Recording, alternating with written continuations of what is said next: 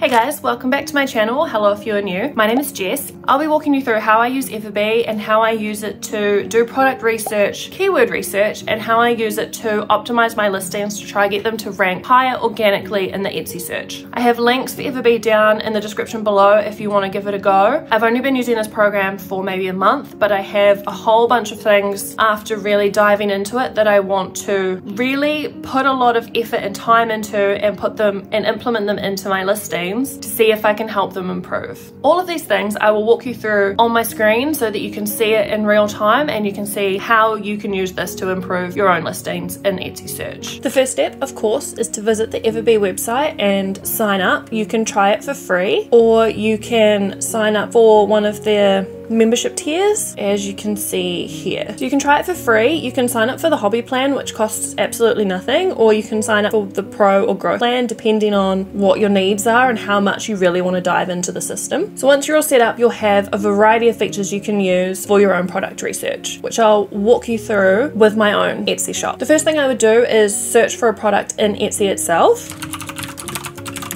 As you all know, Notion templates, we'll look that up. And then once the little bee loads, it shows you the monthly searches that that item gets and what the related search item gets. So Notion templates gets 750 monthly searches roughly. And then like Life Planner gets 537. So that one's obviously quite high as well. Whereas ones like Notion templates for social media gets one monthly search. So not the best one there. So if we just click into it, bring up that search, and then you can go over to the side menu. This is part of the Chrome extension. So when you sign up for Everbee, you would want to sign up for the Chrome extension and install that too. And here you can just click product analytics and this will bring up the listings that are under Notion templates and you can order it based on what you want to look at. So if you want to look at the stores that have the most monthly sales on average, you can target it that way. I always ignore the this top one because it's sort of like a bundle where someone's put in a bunch of stuff and it's kind of ridiculous. It's like a thousand digital products. So of course that's going to sell, but like that's not something everyone can make. So so we'll sort of focus on these ones. Sort of ignore this one too because this one's sort of also a bit out the gate. But here we go, like Notion template extended. You can pull these out. Life Planner, all in one template, Notion dashboard. So that one's getting on average about 200 sales a month, which is obviously something we'd want to aim for. So that's insane. You can see how many times it's sold in total, the reviews it's getting, how old it is. So it's eight months old and it's sold nearly 1800 times. You can see the favorites, the reviews, the views, shop age, and then the score visibility. So this is sort of how well it's it's doing. In Etsy if people are looking for a Notion template like this one's like 100% like someone searches for Notion template that's gonna pop up. The conversion rate which is also really cool to see. So you can see which ones when people are stumbling across them are actually selling as well which is a really handy thing to know. So for example this one down here Notion template like the business one even though it's not selling as much and it's older the conversion rate's a lot higher. So people are clearly when they're finding it really liking this listing. If you really want to see a bit more data you can click it and you'll get the side menu pop up with a whole bunch more detail. This is sort of what was in the table, but it's a bit easier to see when it's laid out this way. And then you can see all of their keywords, the search volume for that keyword, which is really handy. And then the trend graph, which I assume is only if there is a trend, because some keywords may not historically be old enough to have that, I guess. So as you can see here, they've got a few that have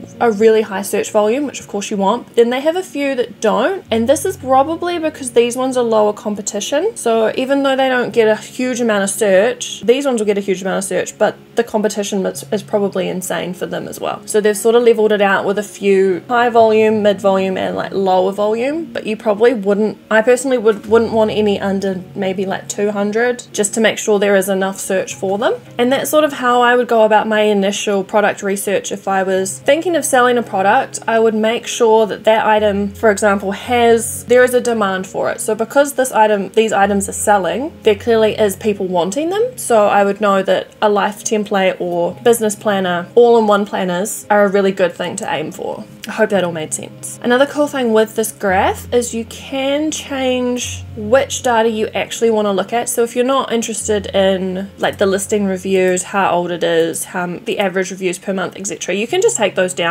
and you can just look at the data that you want to focus on, which is really handy to not get sort of bogged down by too much information. So there's also a keyword research feature in Everbee. So again, if you want to search for Notion template, you can do that and you can very clearly see the search volume and the competition. So the search volume isn't, like it's high, but the competition is also quite high. So that's why this just Notion template alone isn't enough. And then if we customize here, we can put competition and keyword score in. And then I would sort of, again, if I'm wanting to list a Notion template, I would put that in and then I would search down here for keywords that have a decent volume, but the competition isn't crazy high. So like templatable, that I don't think is a word, has 4.5 million competition. So that's not a word that we want to go for. The keyword score is only one, which is really low. I sort of, as I'm doing this, I'll glance down and see what keywords sort of here, like they're in the hundreds, and I'll be like, okay, that's not too bad. And there's some here where you'll see, did, um, again, I don't know that I would use this because it's a typo, but has a good keyword score. So here we go, Digitables template has a really good search volume. The competition is only half as high as the search volume,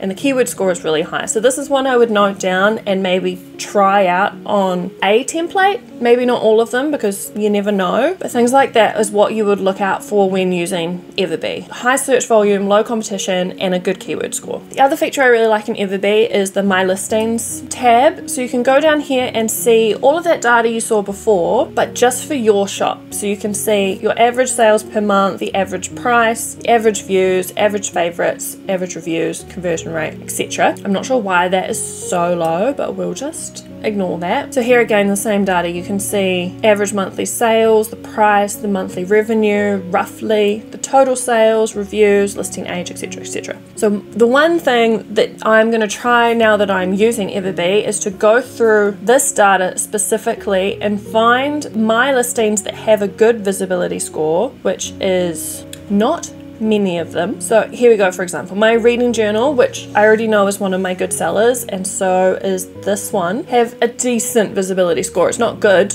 but it's not terrible. It's not zero like some of them. So I would have a look at these and sort of check the data and see why these ones are doing so well. Or try and figure out why they're doing well and figure out how to put that into my other listings so that they can all start doing well or at least try. So here's a good example is some of these keywords might, the search volume might just be too high in the fact that the competition is probably really high too. So I need to go through, check every single keyword and check what the score is for them using that keyword research feature and then check if they're ones I want to keep or not. Like I said, this one's doing pretty well, so I wouldn't focus too much on this one yet, although obviously we want to try and get it into the hundreds like some of the ones we looked at before. But maybe I'd look at this one that has quite a low visibility score and really go through these. So you can see I have two keywords that the search volume is under 20 per month, so they're not good and I should just basically get rid of them and replace them with something else. And then maybe having digital planner is just, there's just too much competition and it's not worth it. And maybe I should put it in the description, but not in the,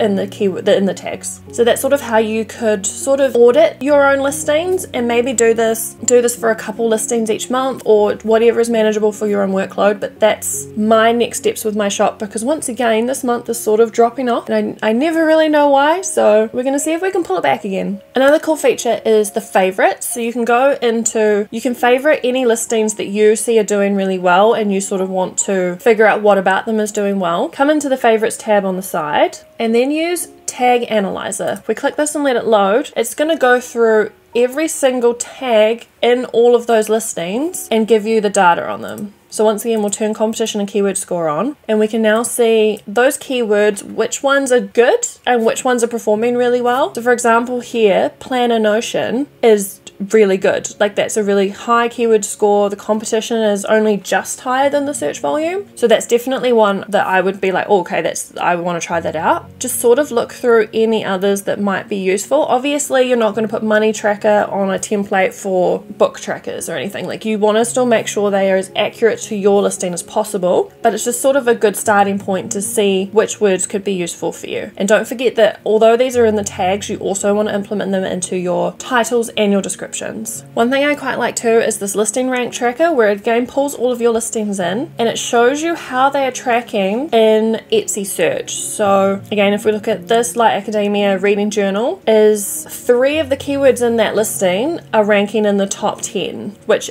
is pretty decent. Like you you want to definitely be in that top 10 group and it's showing me that two of them have moved up and weren't previously in there I think last month or last time I checked. I'm not 100% on that data. But that's sort of in the organic search ranking of Etsy. So this is where you want to be. You want to be organically ranking on the platform so that when people are searching for things, you're really high up and you're found. Once you click into it, you can see which ones are doing well. The problem is, is the ones that we're ranking for quite highly, like this, is also one that doesn't have a good search volume, so it's hard to know whether it's really worth it or not. But it's just something to keep a brief eye on. If you see some that are starting to drop, like this one that's not performing as well anymore, maybe like check in and see why, and see if you can sort of pull out keywords that are performing well and ones that aren't.